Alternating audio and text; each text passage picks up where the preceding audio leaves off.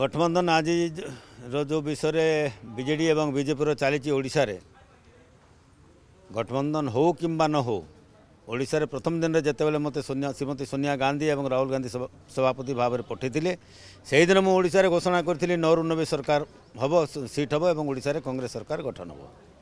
ତେଣୁକରି ତାଙ୍କର ଗଠବନ୍ଧନ BJD BJP ସାଙ୍ଗରେ ହେବ କି ନ ହେବ ସେ ଭିତରେ ଆମର କୌଣସି ସମ୍ପର୍କ ନାହିଁ। କିନ୍ତୁ କି ଆମର ସେଥିରେ ପଶିବାର ନାହିଁ। କିନ୍ତୁ ବହୁତ ଜଣ ନେତା ବିଜେଡ଼ି ବିଜେପିର ଆମ ସହିତ ଟଚ୍ରେ ଅଛନ୍ତି।